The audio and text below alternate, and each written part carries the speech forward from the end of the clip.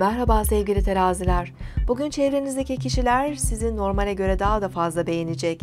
Son derece alımlı olabilir, zarafetinizi daha göze çarpar hale getirebilirsiniz. Sosyal aktiviteler için davetler alırsanız kesinlikle reddetmemelisiniz. Bugün 9 Şubat 2015 Pazartesi, Ay günündeyiz. Terazi burcunda ilerleyen Ay, eşitlik, adalet, aşk, ilişkiler, estetik, sanatla ilgili kavramlara dikkat çekiyor.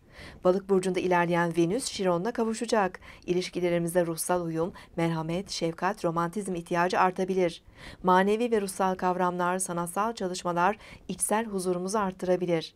Öğle saatlerinde Ay, Kova burcundaki Güneş'le üçgen açı yapacak.